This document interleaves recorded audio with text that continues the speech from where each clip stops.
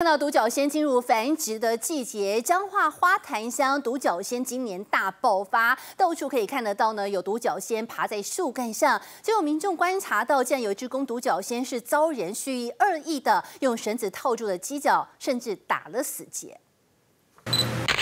可恶，太可恶！独角仙的犄角被人用绳子缠绕，打了死结。民众发现，想帮忙拆除，但却担心把它的犄角给弄断，只能眼睁睁看着它不断垂死挣扎。太残忍了，太坏了！为什么要去欺负独角仙？很不人道，可能会影响到它的生存。民众将虐待独角仙的画面抛上网，引发网友公愤。因为去年就有一只母独角仙被人用橡皮圈故意套住身体，网友痛批根本就是蓄意伤害。雄性的独角仙，它的犄角啊是用来打架用的东西，那它被绑了绳子以后，可能会影响它的求偶。六月进入独角仙繁殖期，彰化花坛大岭巷今年独角仙大爆发，吸引不少游客近距离观赏。专家提醒，为了能让更多民众近距离欣赏，请大家一起守护爱它，别抓它，才能让独角仙不断的繁衍下去。记者林一峰彰化报道。